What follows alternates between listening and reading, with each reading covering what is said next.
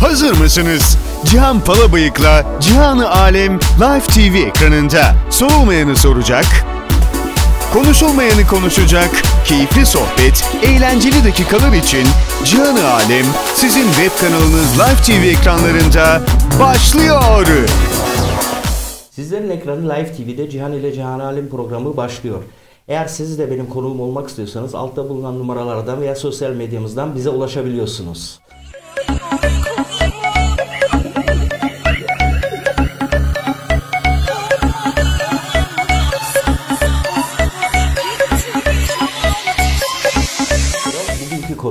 İlginç kişiliğiyle Palet Bar'ın işletmecisi ve sahibi Sayın Gökhan Şirin. Onunla bugün güzel bir sohbet gerçekleştireceğiz. Konuşmayan konuları konuşacağız. Sorulmayan soruları soracağız ve açık yü- yüreklilikle bize Gökhan her şeyi anlatacak. Geldik davet ettiğinizde geldik bakalım sorulmayan sorular varsa e, soracağız, cevaplayacağız. Elimizden geldiği kadar, süremizin yettiği kadar. Ben bekliyorum valla ben hazırım. Önden şimdi sorularda bilmiyorum aslında neler olduğunu ama bakacağız inşallah güzel bir program geçecek. Gökhan önce şöyle başlayalım bizim e, klasik sorularımızdan. Gökhan kimdir? Kendinle ilgili bir bilgi verirsen. Gökhan Nedir, ne içer, ne yer? Gökhan yediğini içtiğini söylemez de şöyle söyleyeyim. Gökhan 87 doğumlu, Ankara'da doğmuş bir arkadaşımız. 12 yaşından beri de gastronominin içinde olan, Temelden gelme yani. 12 yaşından beri bu işin içinde ve biz ailece yaptığımız bir e, meslek. Bu işin içerisindeyim. E, 9. senem almaya da buraya gelildi. 9 yıldan beri e, yani kendim bilim diyeli hep bu işin içindeyim. Hep bu şirkette çalışıyorum. Allah nasip etti böyle bir mekanımız oldu. E, biz şu anda onun taşıyıcısıyız. Ama mekan hepimizin mekanı. Tabii. Bakalım işte böyle devam ediyoruz. Geldik, buradayız yani, birlikteyiz. Gökhan nerelisin? Bu soruyu özellikle soruyorum sana. Ben nereliyim? Ben Ardahanlıyım. Kars Ardahan diye geçiyor. Ama doğma büyüme Ankara'da doğma büyümeyim. Aynı. Ankara'da doğma büyümeyim. Orada doğdum büyüdüm. Ama as, aslım, aslen e, Kars Ardahan diye geçiyor. Çünkü niye sordum bu soruyu? Ee, biz Gökhan'la e, çifte hemşeriyiz. Benim Evet. de aynı, benim de baba Evet. tarafım Ardahanlı, konuşmuştuk seninle. Evet. Ben de doğma büyüme Ankaralıyım. Aynı yerde doğmuşuz, büyümüşüz Evet. ve köklerimiz de aynı yerden geliyor. O yüzden de zaten sana karşı değişik bir sempatim var. teşekkür ederim.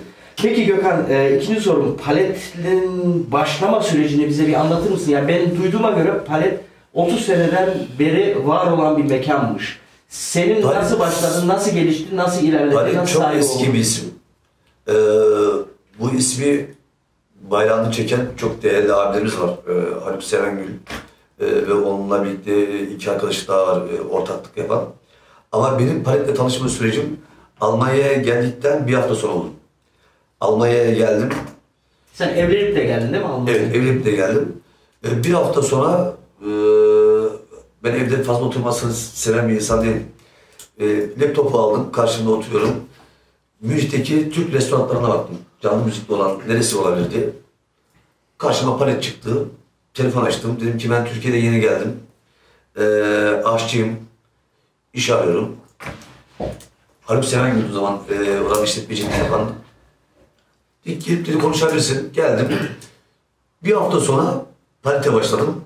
O gündür bugündür 9 sene oldu paletteyim. Yani bir mutfağına girdin, bir daha çıkamadın. Çıkamadım. Palete devam. Ben yer değiştirmesini fazla seven bir insan değilim. Ve hayatım boyunca da hep gittiğim yerde hep böyle kalıcı olmuşumdur. Benim Haluk abiden yani palete başladığım tarihte itibaren 3 kere orası devir yaptı. Ve 3 üç ortakların üçüyle de çalıştım. Evet. Şöyle söyleyeyim, Palet benim eee, gittiğim en sevdiğim mekanlardan birisi. Evet. Eee, çok eee, elit bir mekanlardan birisi Münih'te. Sana şunu soracağım. Palet'in işleyiş tarzını bize konseptini bir anlatır mısın? Sen bazen değiştiriyorsun konseptleri. Bazen sürekli kalıyor. Ama benim ilgimi çeken bir şey oldu. Mesela sen e, paletteki elemanların sabiti. Hep aynı elemanlarla çalışıyorsun ve e, belli bir kaliteyi e, tutuyorsun yani palette. Bir tarzını, bir e, konseptini şimdi anlatırsan bize Şöyle bir şey söyleyeyim. E, gastronomi benim yani ben e, bunu çok özür dileyerek söylüyorum. Benden daha iyi ustalar vardır. Bu işi gerçekten hakkıyla yapan insanlar vardır. Ama Çok da saygımız ama benim benim kendi düşüncem yani şimdi e, bir gastronomi ya da bir e, işletme oranın işletme sahibinin tarzıyla alakalı diye düşünüyorum. Evet. Bu benim tarzım. Ben kendi tarzımı kendi restoranımda uyguluyorum. Ee, herkes kendi tarzını yansıttığını düşünüyorum. Benim tarzım bu şekilde, ben bu şekilde yapıyorum. Benden daha iyi yapanlar da vardır, daha iyi ustalar da vardır, daha iyi bu işi bilenler de vardır. Ama gastronomide, gastronomi sahibinin e, şuna inanıyorum ki tarzını kendisi koyar. Biraz önce dedim ya ben fazla yer değiştirmesini sevmiyorum. Fazla çalıştığımız arkadaşlarla da yer değiştirmesini sevmiyorum. Evet, onu ben de Yani çalıştığımız arkadaşlarımız bizim hep sürekli olan arkadaşlarımızdır. Ee, gidip e, sürekli yerde çünkü gastronomide bir aşçının değiştiğini bir tabaktan anlayabilir bir. Evet. Çünkü eğer sürekli geliyorsa ama her gelen müşteri farklı garsonların görmesini ben şahsen e, hoş bulmuyorum. Onun için de sürekli aynı arkadaşlarla çalışıyoruz. Şu anda da hiçbir sıkıntımız da yok. Bir de e, ilgimi çeken bir şey de oldu e, Palet'e geldiğim zaman. M- Mesela bazı mekanlarda e, mekanın sahipleri, patronları hiç ortalıkta görünmezler. Evet. E, şey, deyim yerindeyse sahne arkasında dururlar ve Evet. işletmelerdeki insanlara e, işletirler e, o mekanı. Ama sende gördüğüm bir fark var. Sen gece gündüz 24 saat palettesin ve bütün gelen müşterilerle teker teker ilgileniyorsun. Yani bu Evet. e, tarz olarak mı? Senin tarzın mı bu? Aslında- ya da misafirperverliğin mi? Aslında benim tarzım değil. Şimdi e, bazı şimdi diğer işletmeler ve sahipleriyle e, kendimi aynı kefeye koymuyorum. Çünkü ben zaten bu iş içinden gelmiyorum. Yani ben e, belli bir miktar parayı harcayarak kendime böyle bir mekan aldım. Ben bu mekan olmasa bile benim yapacağım iş bile benim gastronomi iş yapacağım. Ben bu işin içinde olduğum için şimdi sen benim e, benim misafirim olarak geliyorsun. Ben, ben senin ödediğin paradan ben kazanç sağlıyorum. Tabii. Yani ben, Her olduğu ben gibi. mecburum sana orada gelip selam vermek zorundayım, ilgilenmek zorundayım, halini hatırını sormak zorundayım. Mekan için gelen %30'luk bir müşteri varsa mekan sahibi için gelen %70'lik bir müşteri vardır. Evet. Bu benim düşüncemdir. Evet zaten ben onu fark Yani ettim. benim, benim düşüncem bu. Mekan için gelen %30 varsa e, ya selam vermekten kimsenin ağzı yorulmaz yani. El sıkmadan da kimsenin yorulmaz.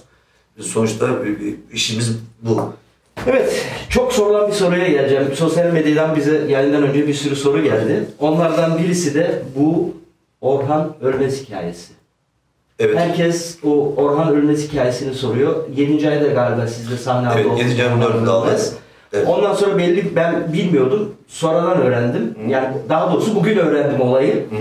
Soru gelen sorulardan. Hı hı. Ee, o olayı bize bir açıklarsan nasıl oldu, nasıl gelişti, neler oldu? Olayı hemen açıklayayım abi Orhan. Ölmez olayı. Ee, şimdi ben bir iş, iş yapılırken zeki ve mantıklı olmasından yanayım bir iş. Şimdi eğer bir konser yapılacaksa bu tartışmaya gidilecek bir mekanlardan bir tanesi palet değil.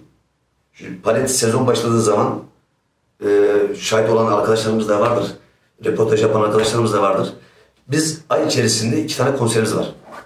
Biz şu ana kadar 3 sene içerisinde 40'ın üzerinde bir sanatçı getirmişiz. Çünkü benim işim bu.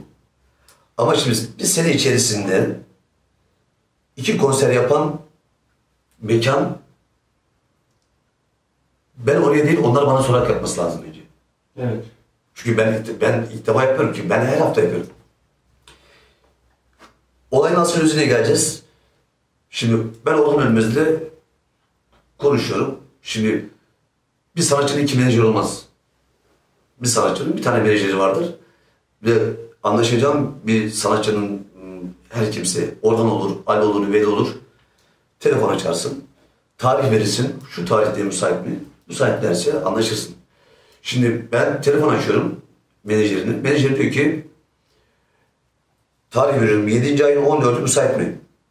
Diyor ki 7. ayın 14'ü müsait. Ben konuşuyorum, anlaşıyorum. Kaparasını gönderiyorum, uçak biletlerini alıyorum. Reklama giriyorum. Ondan sonra bir, bana bir mesaj geliyor. Ya da sosyal medyadan bakıyorum ki farklı farklı mesajlar yazılmış. Yok işte biz e, Ege'si yapacaktı, şu yapacaktı, bu yapacaktı. Ben müveccin değilim ki yani. Ben Ama isim de verdi. Hayır aynı söylüyor. Hani bunu herkes biliyor. Evet. Ee, ama ben müveccin değilim anlatabiliyor muyum? Bunu Ben sanatçıya ben teklif yaparım menajerine. Menajeri bana der ki tarihte şunlar şunlar. 9. ayda burayla anlaşması var. 11. ayda şurada anlaşması var. 1. ayda burayla anlaşması var. Zaten sen de eğer korrekt bir işletmeciysen 9. ayda anlaşması olan bir sanatçıyı 7. ayda kendi direktörüne çıkartmasın. Evet. Korrekt sen. Yani etik olarak olmaz. Etik olmaz. Ama şimdi menajerine soruyorum. 7. ay 14'ü müsait mi? Dükkanım müsait. Ben anlaşıyorum. Reklama giriyorum. Eğer ki şimdi 11. ayda biz anlaşmıştık. E, tamam 11. ayda şimdi ne yapmam lazım? 11. ayda senin anlaştığını nasıl çözebilirim? Fallo bakacağım. Şey mi? E, Bilmiyorsun tabii sen onu. Ben, abi bunun menajeri bana söylemedi süreçte sen kimse bilemez. Şimdi ben sanatçının menajeriyle konuşuyorum. Bir tane menajeri var onunla konuşuyorum. Şimdi tarihleri o bana söylüyor. Bu sahip mi diyorum? Bu sahip diyor. Paramı gönder, e, tarihi kesinleştirin diyor. Parasını gönderiyorum, tarihi kesinleştirmiş. Reklama giriyorum. E, diyor ki 11. ayda biz konuşmuştuk. E, menajerine söylüyorum. E, diyor ki sadece benden fiyat aldılar diyor. E, günü sordular. Evet müsait e, fiyat olarak bu. Ne arayan oldu diyor, ne soran oldu. Ama sen tabii ki kontratını yaptın, işini, kapuranı gönderdin, bağladın ve Cihan abi işte biraz önce söyledim ya ben senede iki kere konser yapmıyorum. Ben Evet. senenin 12 ayı varsa 12 ayında toplam 24 tane konser yapıyorum. Ayda iki konser veriyorum. 24 konser yapıyorum. Maşallah.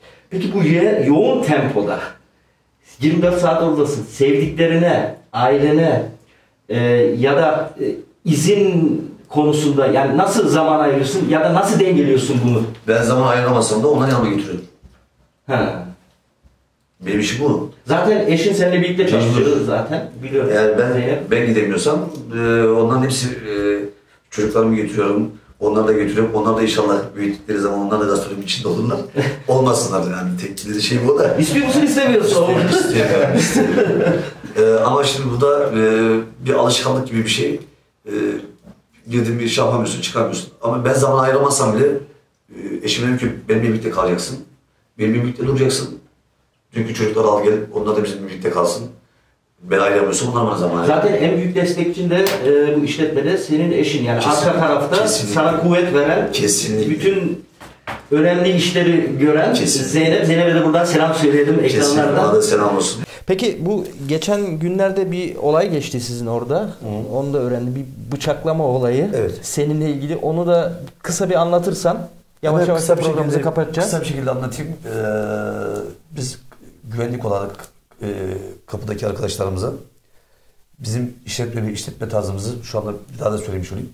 Saat 1'den itibaren, gece 1'den itibaren alkollü ya da başka bir yerde alkol içmiş kim olursa olsun benim ailem ve benim babam da dahil olmak üzere birden sonra benim oraya girebilecek.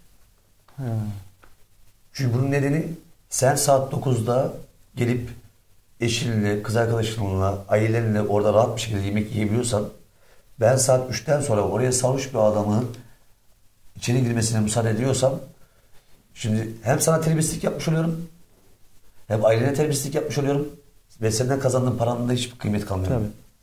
Anladım. Onun için biz dedik ki arkadaşlar saat 3'ten sonra giremezsin.